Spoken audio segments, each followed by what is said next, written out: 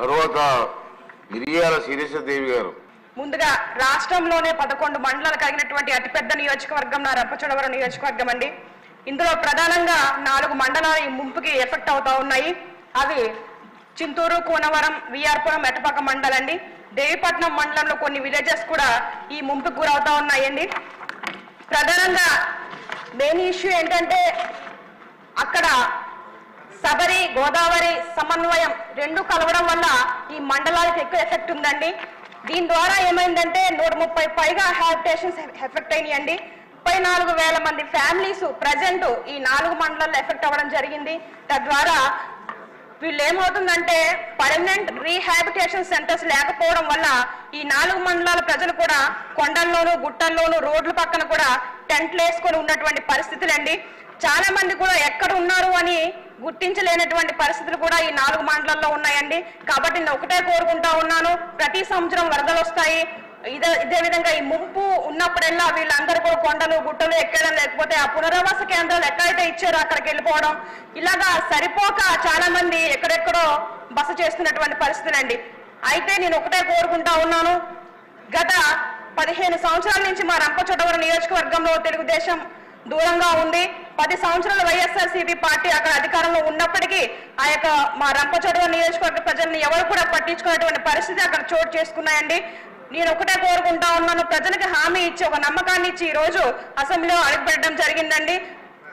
కాబట్టి ప్రజలు ఏ సమస్యలతో అయితే ఇబ్బంది పడతా ఉన్నారో వీళ్ళకి ప్రధానంగా ఆర్ అండ్ ఆర్ కాలనీస్ వాళ్ళు ఎక్కడైతే కోరుకుంటా ఉన్నారో అక్కడ మౌలిక సదుపాయాలతో కట్టించి వారికి అసురక్షితమైన ప్రాంతాల్లోకి తీసుకువెళ్ళాలని అదేవిధంగా వాళ్ళు ఆర్ అండ్ ఆర్ ప్యాకేజ్ కూడా వాళ్ళకి వర్తింప చేయాలని ఈ పోలవరం మాకు వరమా శాపమా అనే విధంగా ఫీల్ అవుతా ఉన్నారు. కాబట్టి ఈ ప్రతి సంవత్సరం ఉన్నటువంటి నరకం నుంచి నా ప్రజలను బయటపడించాలని వాళ్ళకి ఏవైతే రావాల్సినాయో అవన్నీ కూడా ఇప్పించాలని మనస్ఫూర్తిగా కోరుకుంటా ఉన్నాను అధ్యక్ష. అంతేకాదు ప్రధానంగా ఈ వర్షాలు పడతా ఉంటే రోడ్డు పక్కన కొండల్లో ఉన్న వాళ్ళకి కనీసం మస్కుటో నెట్స్ కూడా అందించలేనటువంటి పరిస్థితి. కలెక్టర్ గారు దినేష్ కుమార్ గారు అండి మా పాడేరు కలెక్టర్ గారు అల్లూరు సీతారామరాజు డిస్టిక్కి. ఆయన యొక్క ఆదేశాల మేరకు ఐటీడీ పిఓ గారు ఆధ్వర్యంలో వారికి కొన్ని నిత్యావసర సరుకులు పంపిణీ చేశాం కానీ అవి అందరికి కూడా అందుబాటులో లేవు అధ్యక్ష. మరొక తెలియజేసేది ఏంటంటే దయచేసి జీవోను కూడా ఆర్డర్ పాస్ చేసి ఏవైతే నిత్యావసర సరుకులు ఉన్నాయో అవన్నీ కూడా నా యొక్క ప్రజలకు అందించి న్యాయం చేయాలని మనస్ఫూర్తి కోరుకుంటా ఉన్నానండి. ఇంకా ఇలా చెప్పుకుంటూ పోతే ఏజెన్సీ ప్రాంతంలో చాలా సమస్యలు అయితే గుట్టలు గుట్టలుగా ఉన్నాయి అధ్యక్ష. మరొకసారి మీరు అవకాశం ఇస్తే అవన్నీ కూడా మీ యొక్క దృష్టిలో పెడతాను అధ్యక్ష.